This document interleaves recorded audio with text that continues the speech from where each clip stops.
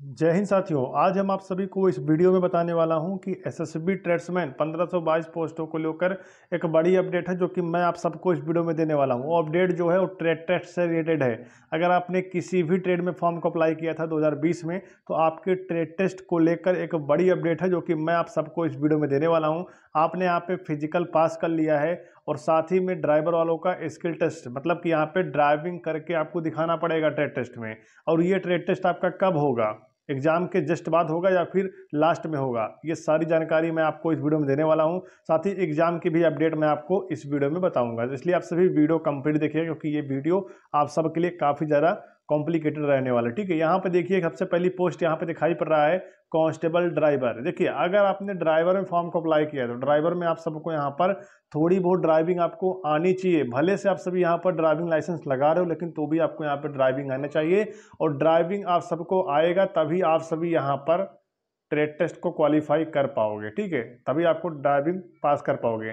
तो आप एक काम करिए कि इसका एग्ज़ाम जो है वो जब भी होगा मैं आपको बताऊँगा, लेकिन आपको अभी क्या करना क्या है ट्रेड टेस्ट पर भी विशेष फोकस करना है, क्योंकि एसएसबी में ट्रेड टेस्ट में बच्चों को बाहर किया जाता है।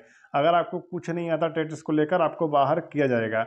अब हम सेकंड की यहाँ पे बात करेंगे लेबोरेटरी असिस्टेंट जो कि इसकी वैकेंसी जो है, वो कैंसिल कर दी गई थी, ठीक है? यहाँ पे इसे ख़त्म कर देते हैं। अब देखिए, हमारा थर्ड है यहाँ पे वेटनरी वेटनरी में बहुत सारे फॉर्म आवेदन हुए हैं और बहुत सारे बच्चे यहाँ पे फ़िज़िकल भी पास कर लिए हैं। अब वेटनरी की बात यहाँ पर ये यह आके फंसती है, क्या वेटनरी में एक्सपीरियंस सर्टिफिकेट लगेगा या फिर नहीं लगेगा? तो देखिए मेरे दोस्त, अगर आपने वेटनरी में फॉर्म को अप्लाई किया है वेटनरी में, पशु चिकित्सक जिसे बोलते हैं, अगर आपने इसमें फॉर्म अप्लाई किया तो यहाँ पर आपका एक्सपीरियंस सर्टिफिकेट नहीं मांगा जाएगा। जी हाँ दोस्तों एक्सपीरियंस सर्टिफिकेट नहीं लगने वाला है, लेकिन आपका ट्रेड टेस्ट होगा। ये बहुत ही ज़रूरी है, इसे आप अपने दिमाग में नोट कर लेना। एक्सपीरियंस सर्टिफिकेट नहीं मांगा जाएगा, लेकिन आपका ट्रेड टेस्ट होगा और ट्रेड टेस्ट में बाहर, बहुत सारे बच्चे यहाँ पे बाहर होने वाले हैं। वेटनरी के ट्रेड टेस्ट में बहुत सारे बच्चे बाहर होने वाले हैं। इसलिए आप सभी अपने आसपास देखकर या फिर 10 किलोमीटर या फिर 20 किलोमीटर के अंदर में भी आप सभी देख सकते हो अपने घर के। अपने घर के 20 किलोमीटर अंदर आप सभी देखिएगा, अगर कहीं भी आपको एनिमल हॉस्पिटल दिख जाए तो आप सभी दो महीने वहाँ रह लीजिए। आपको थोड़ा बहुत नॉलेज वहाँ से मिल जाएगा और आप सभी स्टेटस को क्वालिफाई कर जाएँगे, ठीक है? जो जानवर होते हैं, उनके हॉस्पिटल जो होते हैं, वहाँ से आप सबको कुछ जानकारी लेना है, तभी आप सभी इसे पास कर सकते हो, ठीक है? वही बात करें आया की तो आया का भी यहाँ पर टेस्ट होगा और आया में केवल और केवल फीमेल अप्लाई किए हैं, ठीक? तो आया को भी यहाँ पे कुछ, यहाँ पे कुछ नहीं, आया तो वैसे ही पास कर लेंगे, ठीक है? आया कोई दिक्कत नहीं है। यहाँ पे पास है कारपेंटर कारपेंटर का भी टेस्ट होगा कारपेंटर यहाँ पे अगर हम एक्सपीरियंस सर्टिफिकेट की अगर बात कर लें तो एक्सपीरियंस सर्टिफिकेट केवल और केवल वेटनरी का नहीं लगेगा। वेटनरी का एक्सपीरियंस सर्टिफिकेट नहीं लगेगा। और ड्राइवर ड्राइवर वालों को यहाँ पे ड्राइविंग लाइसेंस लगने वाला है, ठीक है? और यहाँ पर बात करें, बाकी जितने भी ट्रेड हैं कुक हो गया कॉबलर हो गया अदरवाइज़ जितने भी ट्रेड हैं, सभी ट्रेडों का यहाँ पे एक्सपीरियंस सर्टिफिकेट लगेगा और साथ ही बात करें यहाँ पर तो ट्रेड टेस्ट भी होगा साथ में, ठीक है? लेकिन वेटनरी में अगर एक्सपीरियंस सर्टिफिकेट नहीं मांगा जा रहा है तो इसमें ट्रेड टेस्ट होगा, ये फिक्स है, लेकिन एक्सपीरियंस नहीं मांगा जा रहा, ठीक है? और ड्राइवर में भी ट्रेड टेस्ट होगा, यानी ड्राइविंग करवाएँगे आपसे तो आपको यहाँ पर थोड़ी बहुत नॉलेज होनी चाहिए। अब यहाँ पर बात आती है कि प्लम्बर प्लम्बर, देखिए प्लम्बर को लेकर आप सभी परेशान अगर हो रहे हैं तो प्लम्बर का एक्सपीरियंस सर्टिफिकेट आपको लेकर जाना है। और आपको बता दें यहाँ पे, अगर आपके पास आईटीआई है तो आपका एक्सपीरियंस सर्टिफिकेट नहीं मांगा जाएगा। तो आपका, लेकिन अगर आपके पास एक्सपीरियंस सर्टिफिकेट है तो आप सभी एक्सपीरियंस सर्टिफिकेट ज़रूर लेकर जाइएगा। और यहाँ पर बात करें, प्लम्बर से भी रिलेटेड आपसे सवाल पूछेंगे, और वहाँ पर प्लम्बरिंग आपसे करवा सकते हैं। तो इसके बारे में आपको वहाँ पर नॉलेज होनी चाहिए, ठीक है? अब अगर हम नेक्स्ट बात करें यहाँ पे पेंटर पेंटर से भी वहाँ पे टेटस करवाएँगे दीवार वगैरह पेंट करवा सकते हैं, ठीक है? क्योंकि भरोसा नहीं किया जा सकता किसी भी फोर्स पर। कितना भी हार्ड ट्रेटस ले सकता है, अगर आपने सी एस एफ़ ट्रेड्समैन का फ़िज़िकल क्वालिफाई किया है तो आपको पता होगा कि उसका ट्रेटस कैसे हुआ था। मुझे बताने ज़रूरत नहीं पड़ेगी, ठीक है? वही बात करें टेलर की। टेलर अगर आपने दर्जी में फॉर्म अप्लाई किया है, दर्जी में यहाँ पर आपको कपड़ा काटना, नापना आना चाहिए, तभी आप ट्रेटस को क्वालिफाई कर पाएँगे। वही कॉबलर की बात कर लें, यानी मोची। देखिए, यहाँ पे आपको सिलना मतलब जूता सिलना आना चाहिए, जूते को पॉलिश करना आना चाहिए। ये आपको आना चाहिए। अगर मान लो आपका कोई स्लीपर है, यानी चप्पल है पर टूट गया है तो उसे कैसे सिला जाता है, कैसे डोरा डाला जाता है सुई में ये सब आपको आना चाहिए, ठीक है? वही बात करें गार्डनर की तो गार्डनर का भी ट्रेक्टर्स होने वाला है, इसमें भी आप सभी पीछे मत हटिएगा। जो भी गार्डनर से फॉर्म को अप्लाई किए हैं, अपने ट्रेक्टर्स पर विशेष फोकस करिए।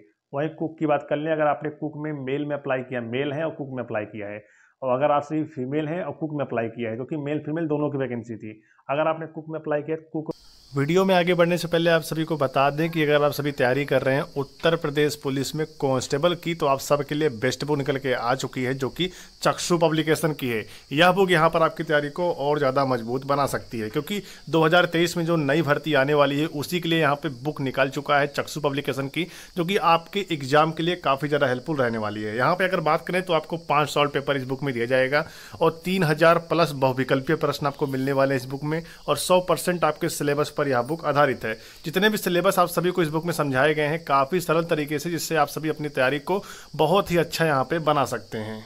अगर आप सभी इस बुक को परचेस करते हैं तो आपको साथ ही में स्टडी गाइड मिलने वाला है, जिससे आप सभी अपनी तैयारी को दोगुनी मज़बूत कर सकते हैं। अगर आप सभी इस बुक को ऑनलाइन माध्यम से परचेस करना चाहते हैं तो डिस्क्रिप्शन में लिंक दिया गया आप सभी जाकर वहाँ से ले सकते हैं। या फिर आप सभी इसे अपने मार्केट में भी ऑफलाइन माध्यम से परचेस कर सकते हैं। मैं आप सबको यहाँ पर विशेष ध्यान ये देना है कि आपसे कुछ भी पूछ सकते हैं और कुक की वीडियो मैंने ऑलरेडी बना दी है चैनल पर, ठीक है? आप सभी चैनल पर जाएँगे, ढूंढेंगे, नहीं मिलेगा, इसलिए मैं आप सबको इस वीडियो के डिस्क्रिप्शन में उसका लिंक दे दूँगा। आप सभी जाकर कुक का, ट्रैक्टर्स का वीडियो देख लीजिए। अगर आप सभी उस वीडियो को देख लेते हैं तो आप किसी भी फोर्स में कुक का ट्रेड आसानी से क्वालिफाई कर सकते हैं। मैंने हर चीज़ बताया है, मसालों से लेकर सब्ज़ी बनाने तक का तरीका मैंने बताया है उसमें। चावल कैसे पकाया जाता है, हर चीज़ मैंने बताया है। तो कुक का आप सभी अगर उस वीडियो को देख लेते हैं तो आप सभी कुक का टेस्ट पास कर लेंगे, लेकिन आपको घर पर रोटी बेलना आना चाहिए। रोटी आप सभी घर पर रोज़ बेलिएगा ताकि आपका रोटी जो है गोल हो जाए, तभी आप सबको यहाँ पर टेस्ट में पास किया जाएगा। अगर आप सब कुछ गला बता लेते हो, लेकिन अगर रोटी सही बना लेते हो तो आपको यहाँ पर पास कर दिया जाएगा। ठीक है, ये माना जाता है। वही बात करें वाशर मैन चाहे मेल हो, चाहे फीमेल हो, दोनों की मैं बात कर रहा हूँ, ठीक है? अगर आपने वाशर मैन फॉर्म को अप्लाई किया है तो वाशर मैन में आपको यहाँ पे कपड़े धुलना आना चाहिए। या दोस्तों? कपड़े धुलना आपको यहाँ पे आना चाहिए और इसकी भी वीडियो मैंने ऑलरेडी बना दी है, आप सभी चैनल पर जाकर देख सकते हो, ठीक है? आपको कपड़े धुलना यहाँ पे आना चाहिए। और सिर्फ़ कपड़े धुलने से ही काम नहीं चलेगा। वाशर मैन में मेल, फीमेल दोनों अप्लाई किए ठीक है? वही बात करें कपड़े धुलने से ही काम नहीं चलेगा। आपको कौन सा डिटर्जेंट आपको यूज़ करना है, ये भी आपको वहाँ पे बताना पड़ेगा, ठीक है?